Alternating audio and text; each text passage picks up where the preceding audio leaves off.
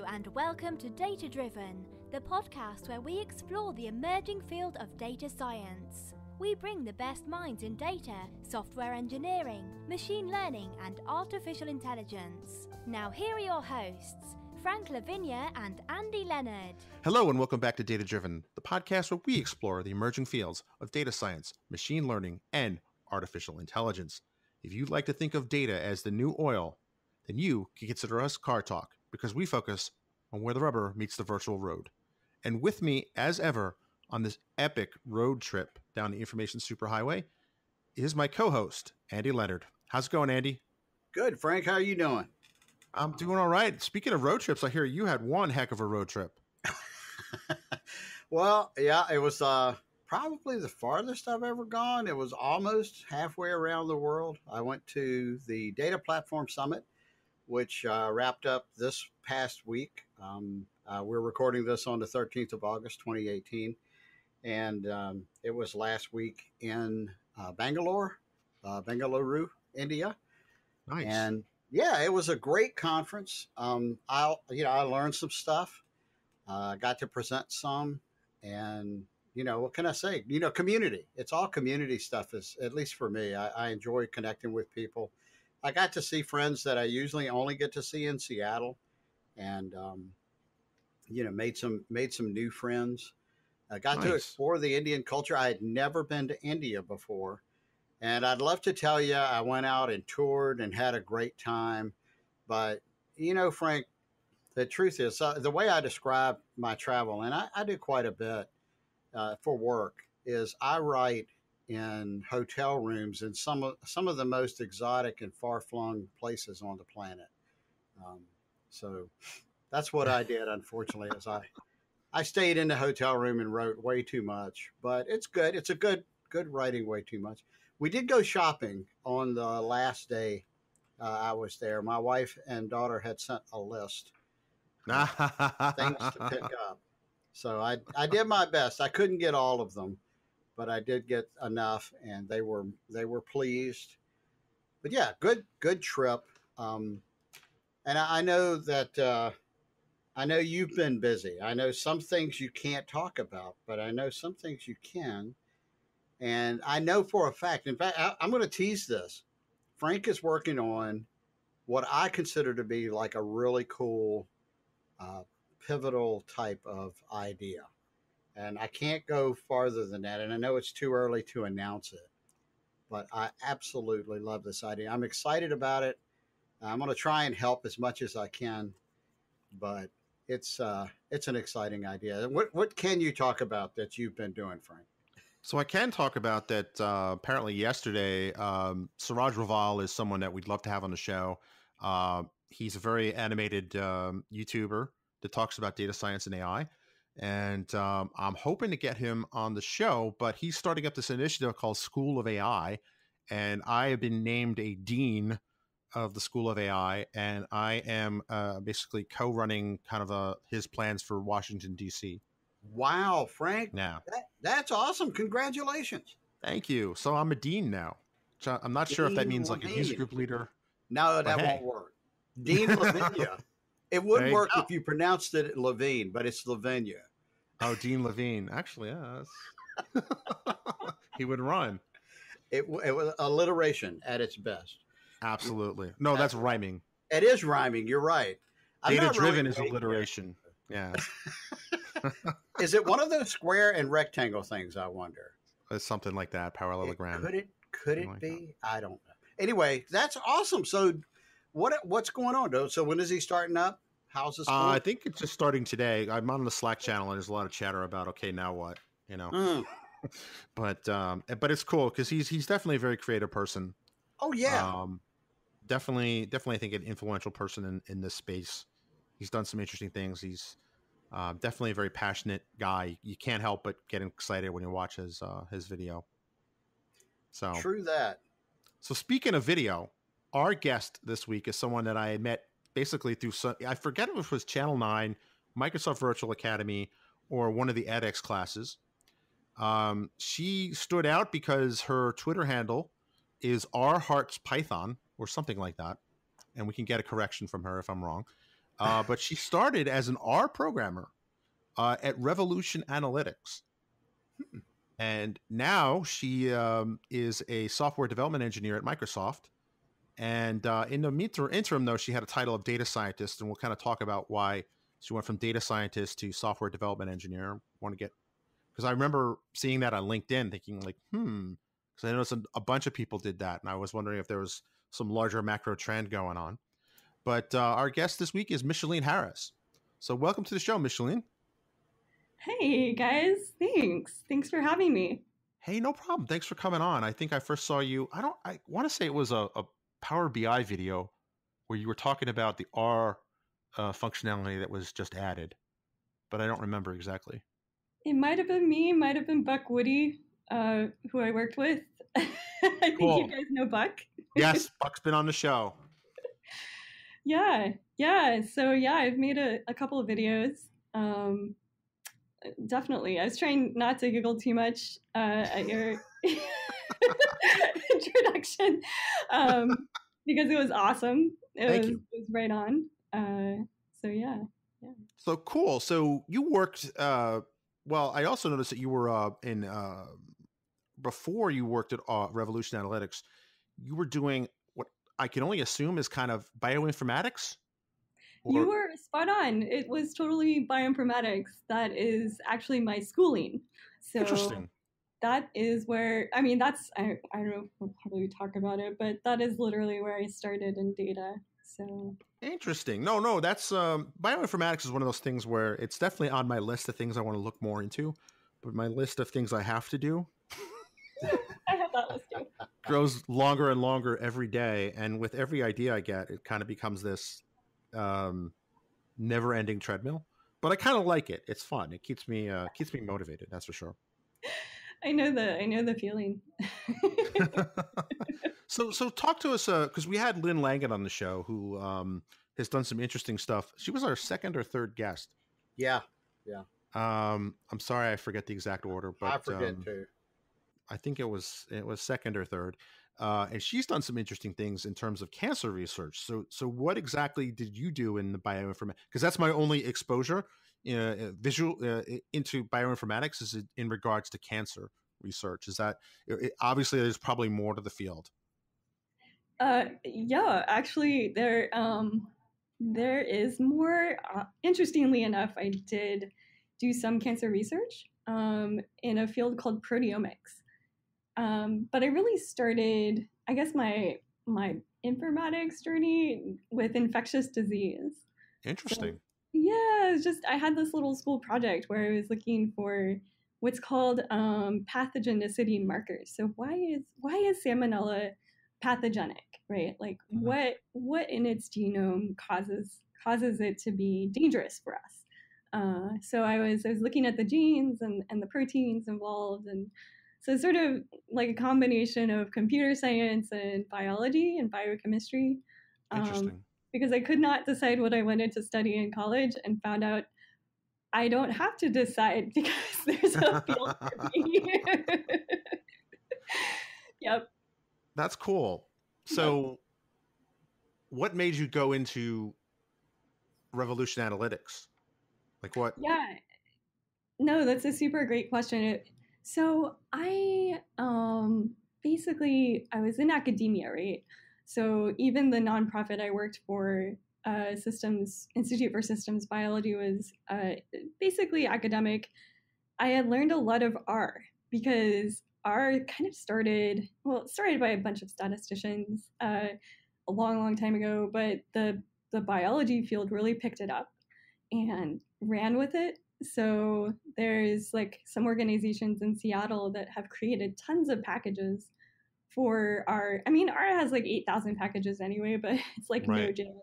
Yeah, yeah, yeah. Yeah, Well, yeah. and for the longest time, it was the only game in town, right? I mean, Yeah. this type of work. Exactly. Um, yeah, so it was like uh, I was doing a lot of R programming in the field of biology in academia.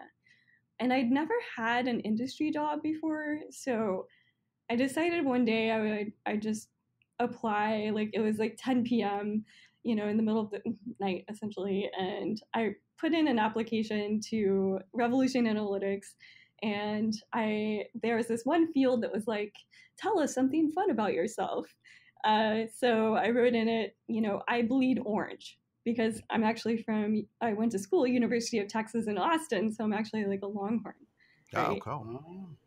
And then they called me the next day, which was pretty cool. I had no idea if it had to do with the fact that, you know, I wrote this silly thing, but um, then I started working for them and, and it was amazing because I not only had never done industry, but like I, I was, I, you know, I'd never done consulting. So I was billable. They really threw me the, into the deep end, but in a wonderful way. Like uh, they were like, "Yeah, you're billable. You know, your first day." So there you go. I was like, "Wow, I'm this little academic person, you know, coming coming into this big world." Um, but I had such a blast, you know, and um, because of the the R background, I think they just they really wanted to have me, which was super cool. Um, and then six months later, we got acquired by Microsoft. So your timing is on point, that's for sure. I know.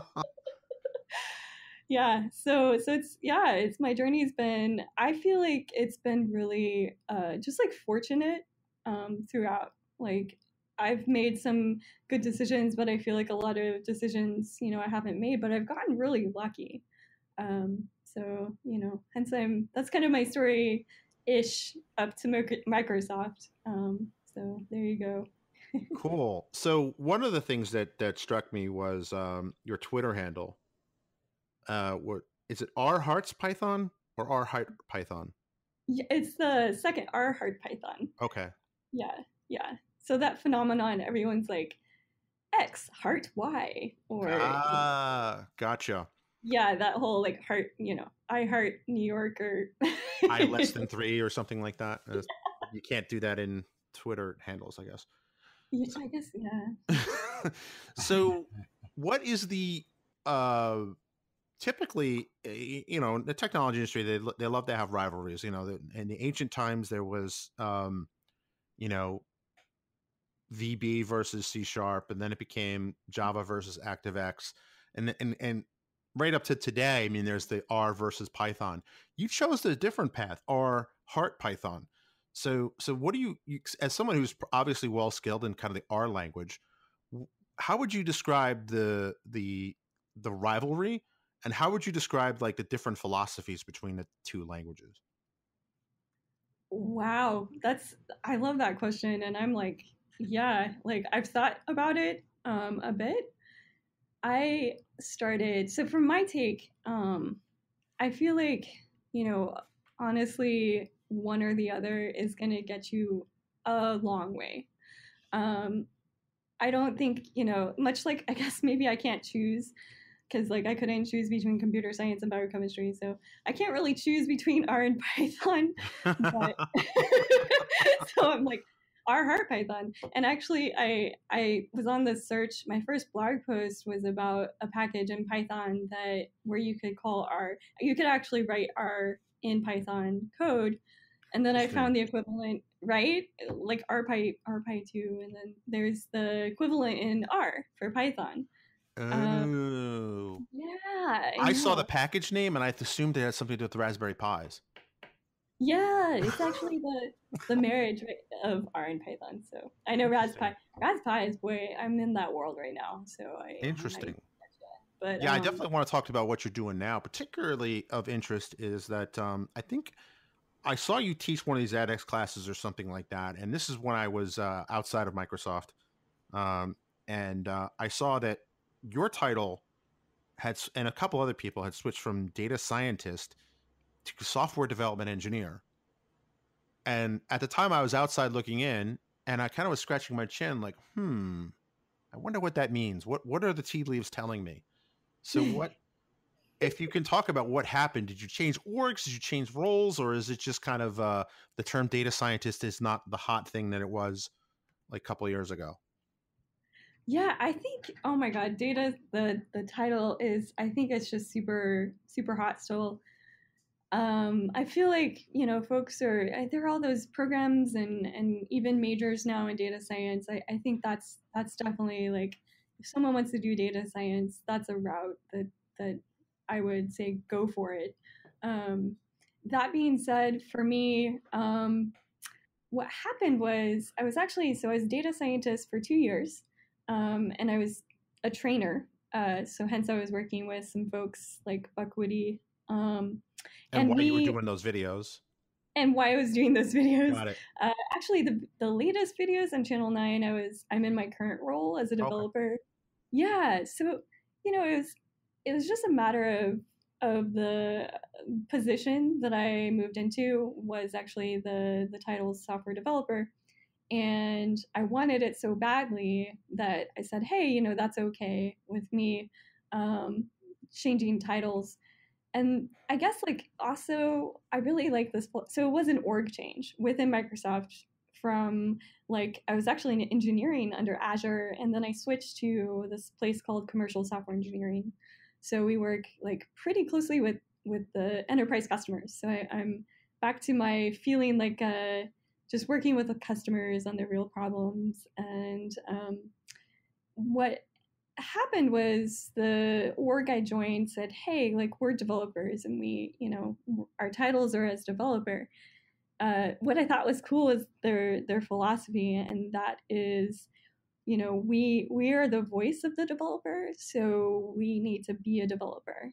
Um, and I, that really appealed to me. I was like yeah right on. Like i i i want to be a developer you know and have that have that voice but also bring my data science you know to that voice and i end up i actually end up doing like 100 times more data i don't know if that's a right factor but like a ton more data science than i've ever done before because I'm working with these customers that have like data science and machine learning workloads. Um, you know, everyone wants the AI component of their product, or they want to intelligently do sound or you know speech or text or vision, you know, incorporated into their app. Um, so yeah, that's that's kind of where I'm at, uh, where I'm at now. But like I said, I I love it because I get to do the data science stuff um, as a developer, and I can speak more. I don't know how to put it exactly, but um, I, I am a developer and I, I can go to like a conference and you know stand up. I'm a developer but i do data science you know so can you. Right like, right right well right? i think those walls you know? are coming down. Exactly. Yeah. Yeah. Yeah. Andy and i have kind of had that the debate on other shows where it's kind of like you know there was a time when developers wouldn't touch data and right vice versa. yeah, yeah.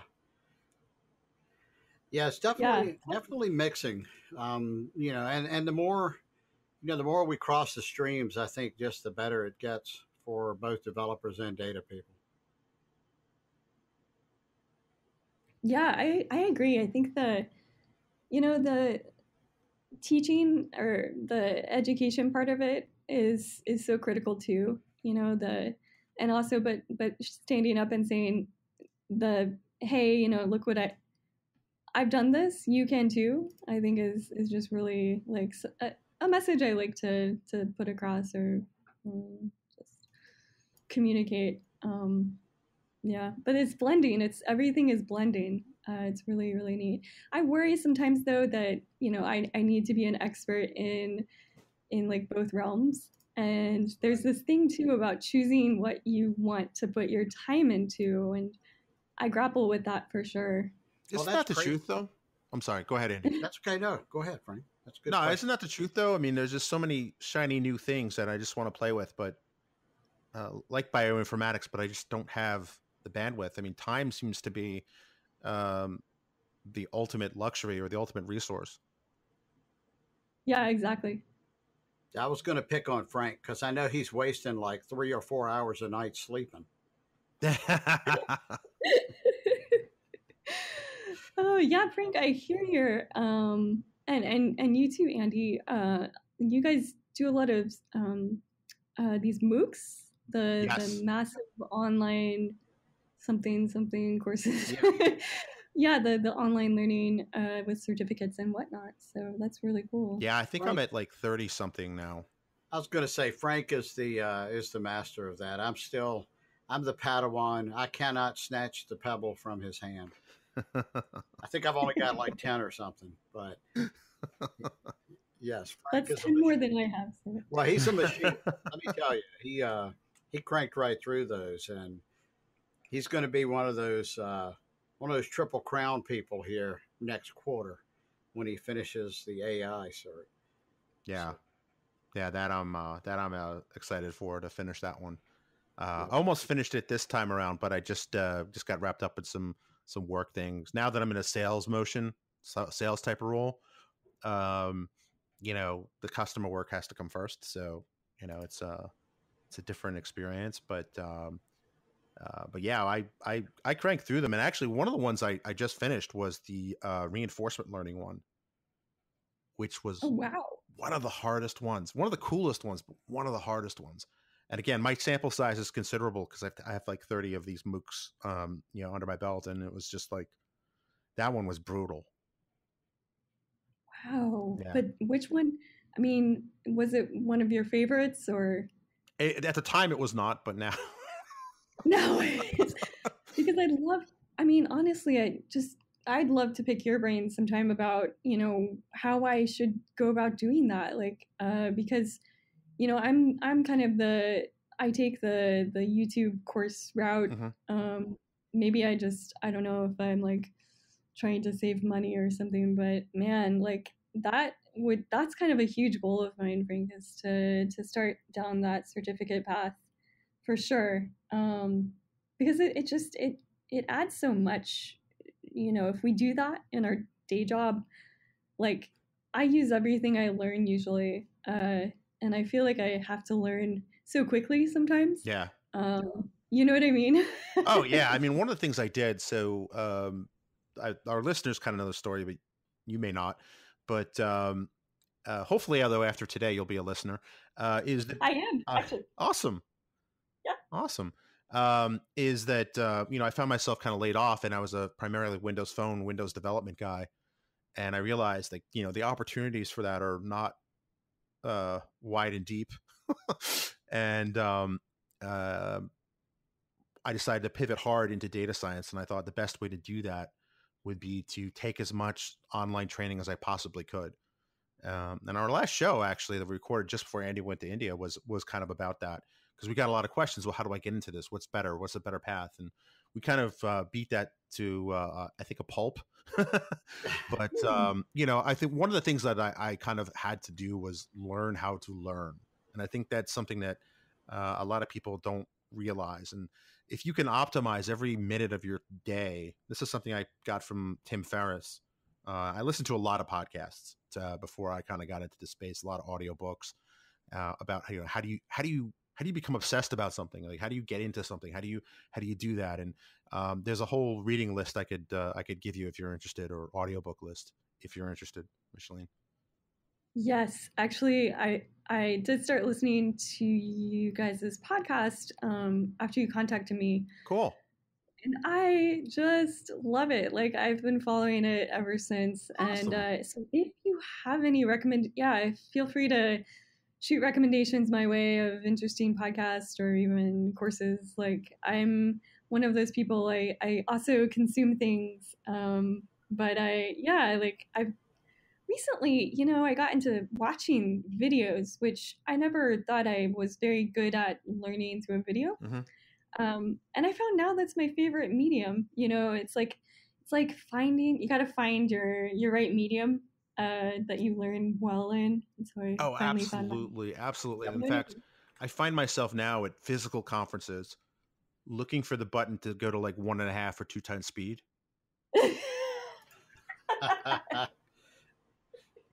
Because that's just the best way to multiply your time is is to just you know focus on one thing and kind of watch it at two speed. I mean, it's just um, it sounds crazy, but once you kind of do it, you, you're hooked on it. In fact, uh, a mutual friend who is now a Microsoft employee. We're not going to name him. He kind of elbowed me. He goes, "You know, I really wish I could double the speed of this presentation." And that that made me scratch my chin and go, "You know, now that you mention it." yeah, yeah, no, that, that, makes total sense, and and then you have you know time for more things, right? Uh, Absolutely. Uh, super smart, super smart. Um. So, um do you have any questions, Andy? I know. I was looking at the list. I was thinking we've we've done uh, done a good job covering uh, good introduction material, and uh, I was just looking at the our our standard question list.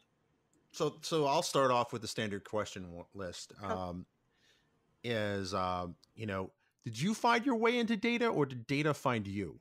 Like, how did you get your how did you get into data? I know you mentioned that you were couldn't decide between um, you know uh, computer science or uh, bio biology, and you kind of found it's not a either or thing; it's a yes and type uh, equation.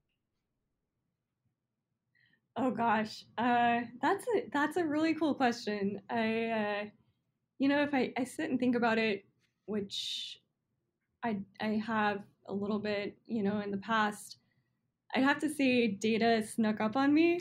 Like you know, kind of like, hey, I'm a small amount of data. You wanna you wanna play? Let's go. And so it was, you know, I, I went to I went to grad school for just a little while and before I decided that no. Um, but I, I was I was in this like crazy PhD program and then I yeah, anyway, but we were um, doing some work in in like the the small protein data sets and it was cool because we had this like uh, 3d 3d structures essentially they're just 3d structures and but that's data. It's like points right? Like right. points 3d points xyz um, so it's just starting to think about instead of the mathematics and you know yeah like you can do a lot of stuff in the you know mathematics but how can i actually work with this data where it's at? Um, you know and and and get insights from from this data you know in different creative ways that folks haven't thought about. Um, so it's like as a developer but but with that a little bit of domain knowledge in biology to be able to ask some cool questions of that data. So i feel like the data snuck up on me but then I, it was like my responsibility to ask some cool questions. Interesting. Um, yeah, but it was really in school, like uh, projects for a bioinformatics course, and um, you always had to dig up some data. so, what did you end up getting your uh, two questions? What did you end up getting your uh, degree in, and then what was your PhD path that you had intended? Was it on the bio side or the software side, or some hybrid of the two? Yeah, so it was actually biochemistry straight up. Okay. So I did. Uh, it, I thought for the longest time that I that I wanted to do computer science. Started out there, yada yada yada. Ended up, no, maybe I want to cure cancer. You know, biochemistry. Uh, didn't realize like I could do both uh, and cure cancer. Not really, but um, but yeah. I mean, uh, so so biochemistry for both. Um, and I was. I don't know if it reflects this exactly in my resume. I think it does, but or LinkedIn or whatever. But folks may not know that, you know, I was actually a chemist at a bench, you know, wet lab chemist for like 10 years. Really?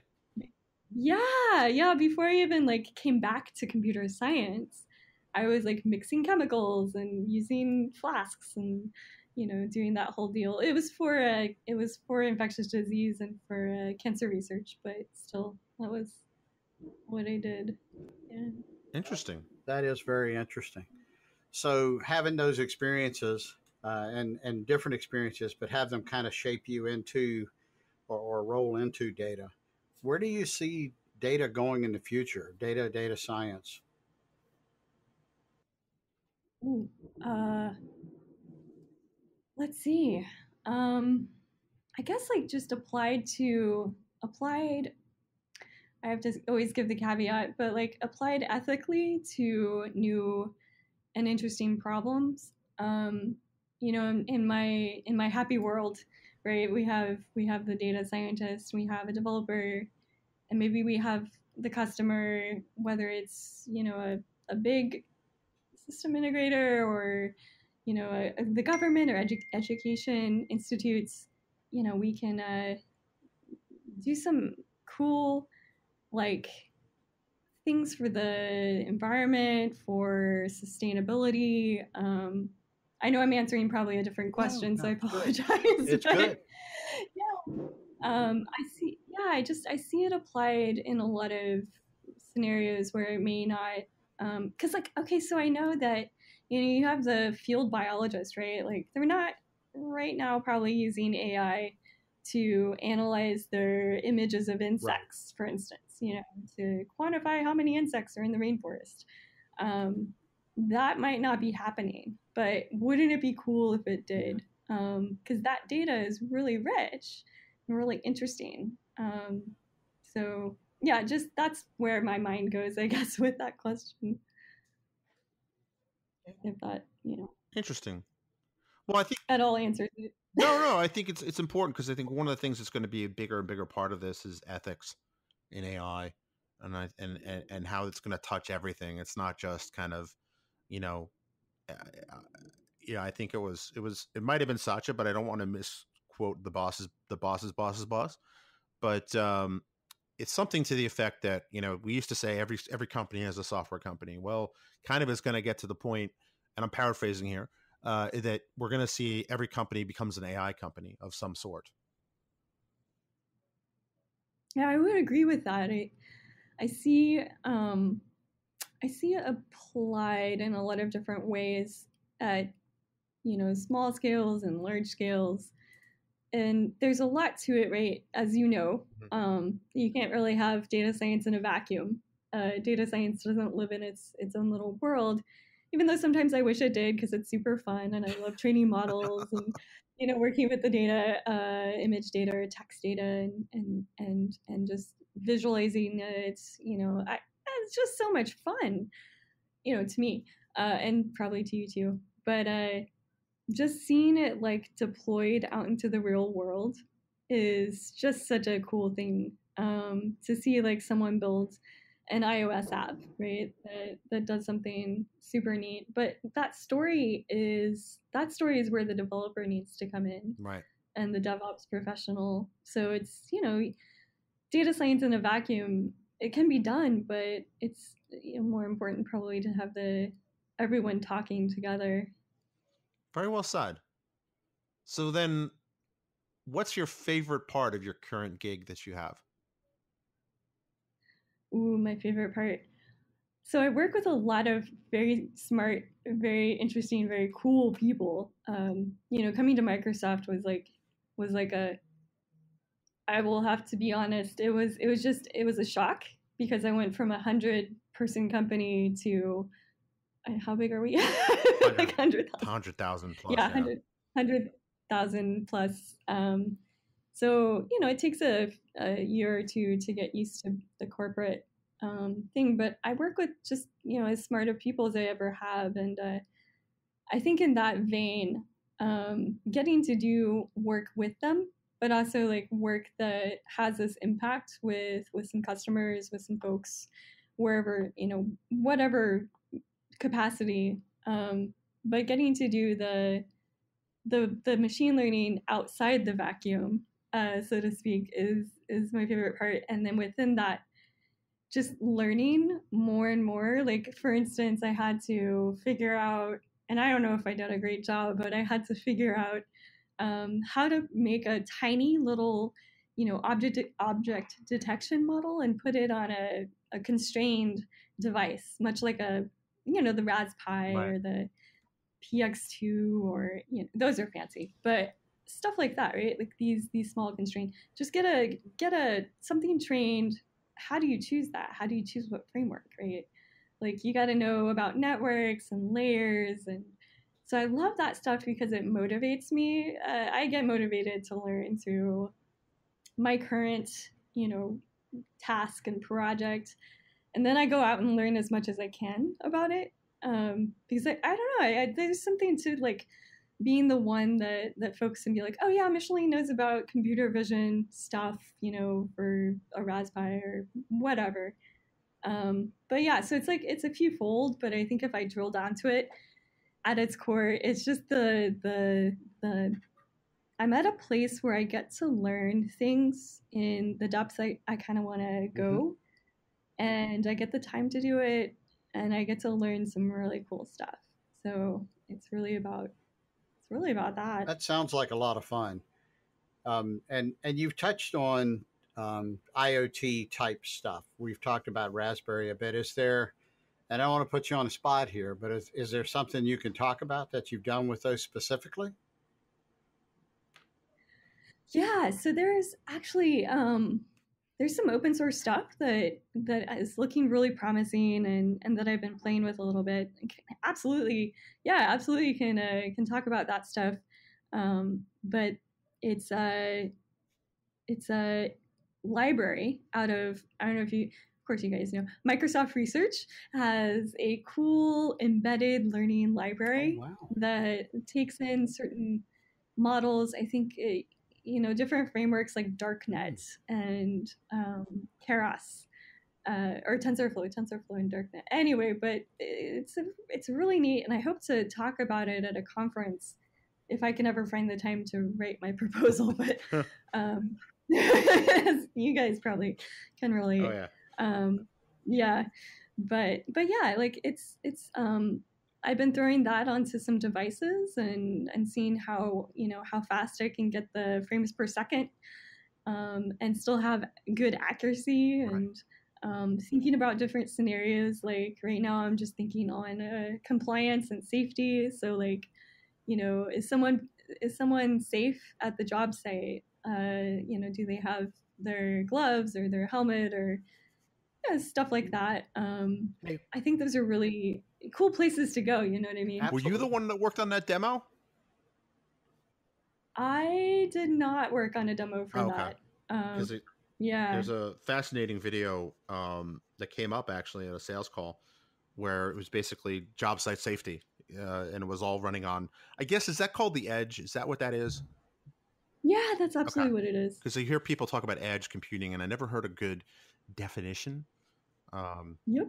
so if you would be so kind as to give us a what your definition of edge computing is.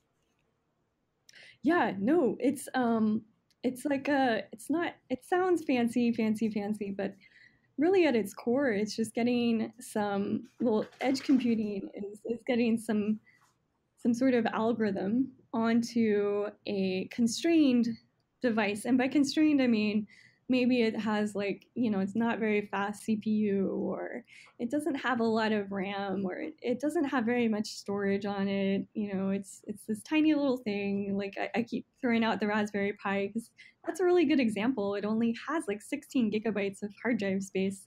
You know, and it's only CPU, no GPU, video stuff. Um, and you can't plug in another hard drive into it. Uh, so it's, you know, it's like it's it's a tiny little system on a chip, not even a system on a chip, but you know, it's a it's a small device. So when they talk about edge, it's like how do we get these algorithms in a state such that they can live on these devices and and not blow them up or you know not, Right. that they'll run um, and they'll run within those constraints. Uh, so I hope that made. Some I love That the makes a lot of sense. engineering aspect of that. I just, you know, I find that's the that is a very engineering concept. I'm making up words again. Um, I love it. we're, we'll uh, shift gears just for a minute. Uh, we have three complete this sentence questions, and the first one is: When I'm not working, I enjoy blank. Oh, yeah. So in this case, blank equals mountaineering. Oh wow! So I, yeah, I go do that kind of stuff because I'm I'm fortunate enough to be in the state that has, oddly enough, tons of glaciers. Uh, and I think only Alaska is the other one that has them. wow. I think.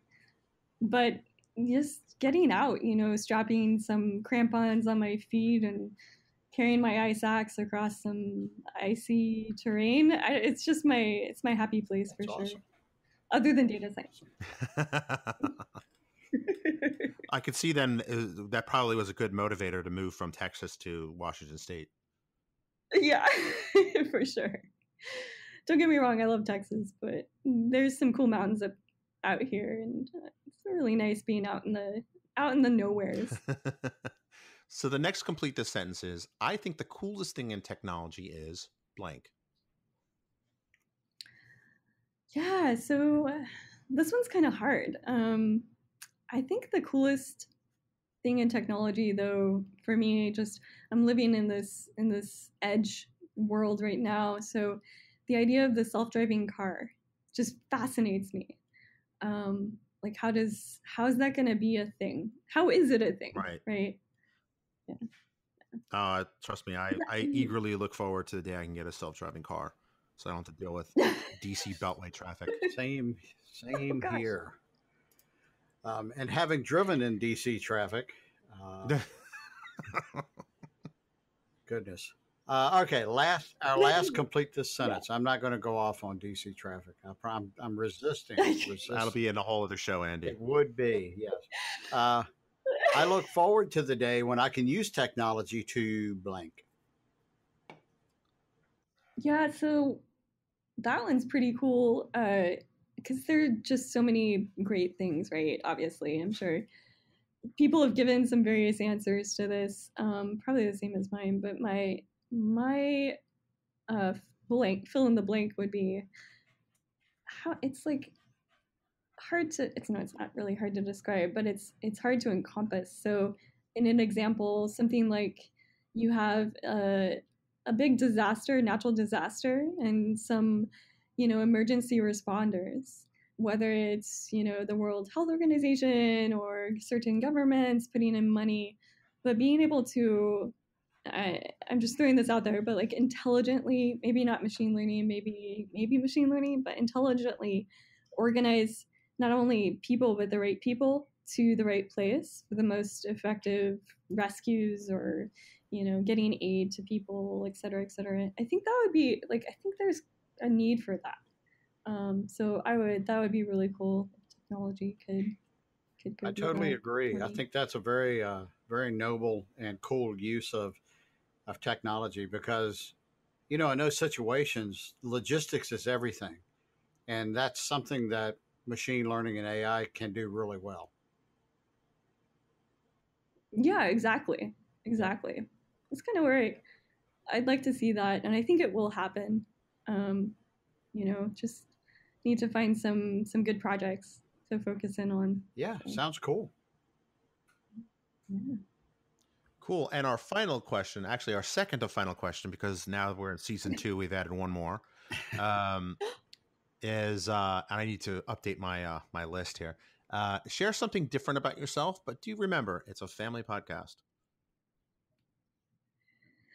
Yeah, so we talked about the mountaineering aspect. Um, so, you know, with regards to that, I think some maybe in the a different life or maybe when I retire. Um, but I, I just, I'd really love to do mountain rescue. Oh, cool. Um, yeah, I think that sounds like you know right up my alley. Um, I have a lot to learn, you know, but uh, maybe I can take some courses in that as they go along and uh, and and do mountain rescue, which I just realized tied into my last does. answer. It's a great answer. I have a. Thanks. Well, it's all about, I think, a desire to help people and and and and use kind of your, the skills you've acqu- acquired, right? Both on the mountain and in front of a computer. It it, it it's uh it, it lines up nicely if you look at it that way. Yeah, yeah, I like to share in general. Hopefully, sometimes. Very cool. Very cool. So I think this is our last question. Frank, if it's not, you can jump in after this and ask the real last question. But um, Frank and I, you know, we travel a lot. Frank sits in traffic a lot. And uh, because he lives in Northern Virginia, well, actually, Southern Maryland. You live in Southern Maryland. And I I just say Maryland. I- Maryland, Southern okay. Maryland is is another part of the state in my mind, but yeah. Don't get me started about my dream. Nah, My uh-oh. dream is called North Virginia. North Virginia. I would live in South Virginia, mind you, but don't get me started. Anyway, um, there's, I, I think it's about, we, we both listen to audiobooks. In fact, I listened to uh, a few audiobooks going back and forth to, to Bangalore uh, the past week. And um, it was a great opportunity to, to do that. You know, when you get 18, 20 hours of travel, um, it worked out. Uh, I, I'm curious. Do you do you read? Do you listen to audiobooks? Um, I do. I do, especially when I'm on a like treadmill for like you know three hours with a backpack training. I uh, I will I will listen to these crazy like mountaineering stories. So there's this one book called Epic. Um, and apparently epic means something like you don't want an epic thing to happen on a mountaineering trip, Gotcha. right? yeah, you want to You want unepic. Uh, nothing. right, no epic. Uh, so it's the stories about like epic mountaineering stuff and uh, all around the world, um, and it's just really fascinating. I, you know, I also went to Andy. Um, was it Bangalore? Bing, I think so. I, pron- I mispronounce it, I'm sure, Yeah. but yes. Yes. Yeah, yeah. So so on the way over, you know, I I do I do listen to these um mountaineering books, but I also like to listen to, you know, scientific things, um, and data science books. Data science, not manuals per Right, se, but, you know, like yeah, I listen to lectures. So I'm really into this uh, Stanford, the Stanford CS vision and, and text NLP uh, lectures. Very, very fascinating stuff. It, it's it sounds awesome. One of the reasons we ask people this is uh, one of our sponsors is Audible, and we have a URL where listeners can not only go get a uh, not only can they sign up for Audible, but they can get a free book and sign up for 30 days for free. And the URL is thedatadrivenbook.com. So if you go there, Frank and I, I think Frank, we get like a quarter every time somebody does that or something, which is awesome. Something like that. We get a every time they sign up, we get a little bit of a cut, and it helps support the show as well as enriches your brain. yes, Um, you know, It- I'm still working my way through Yeah. the Richard Branson book. yeah. So I mean, Frank and I, we we share a lot of interest, business and technology, and um, you know, business. Now you can find a lot of books that are businesses and technology uh, out there. Um, I we also have uh, have other books that uh, that we listen to, different interests. Um, but yeah, all, all of those sound good. So when you listen to those lectures, that sounds like it's from a website rather than a book. Yeah, so that's that's some YouTube stuff. Um, but uh, the the Epic book is on Audible, and I do have an Audible account, so I'm excited. I think I'll um I'll look you guys up. The what was it the data driven Book.com. Dot com. Yep. book.com. Cool. Cool.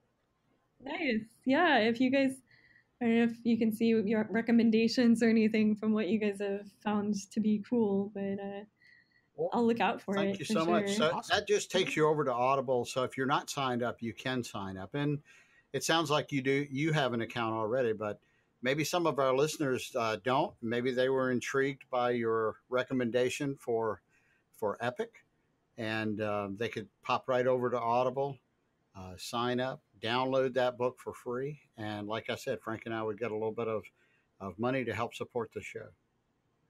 But I must warn you, audiobooks are very addicting. Yes, kind they of are. so where can folks find out more about what uh, uh, what you're up to, Micheleen? I think the best place to see what I'm up to, especially like, well, like externally, I do a lot of data science work as well, like put on workshops with friends. Um, but it's just check out my Twitter. Um, it's R Heart Python. Uh, just R is in, yeah, R is in rapper. No, Reynolds. There we go. We'll put a link on the show notes, Right. definitely. We'll put it like in the show notes, and Yep. uh, I'm sure you hear a lot of pirate jokes, and you tell people that you're an R programmer. It's true. I have a skull and crossbones flag Nice. up in my office too, Nice. and I like represent my past. awesome. All right. Well, with that, we'll uh, let the nice British lady finish the show. Thanks for listening to Data Driven. Don't just listen, become a data driver by going to datadriven.tv to sign up to join the community, access to special events, tips and tricks, and more. Sign up today at datadriven.tv.